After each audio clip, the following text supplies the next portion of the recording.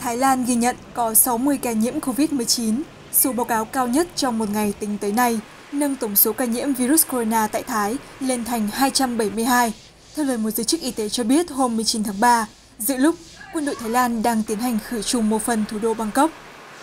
Trong số những ca mới này, có 43 ca liên hệ với những ca trước đây, 17 ca liên hệ đến những người đến từ các nước như Ý, Malaysia, Nhật Bản, Iran và Đài Loan. Theo lời ông Suwanachai Wattanayin Charoenchai, Tổng Giám đốc Tổng cục Kiểm soát Dịch bệnh thuộc Bộ Y tế Thái Lan cho biết,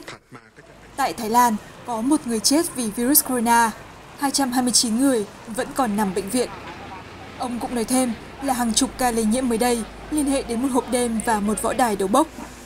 Quân đội Thái Lan bắt đầu chiến dịch khử trùng rộng lớn chung quanh thủ đô Bangkok vào sáng sớm ngày 19 tháng 3, phun thuốc sát trùng dọc theo những con đường trong thành phố, trong đó có con đường Khao San nổi tiếng.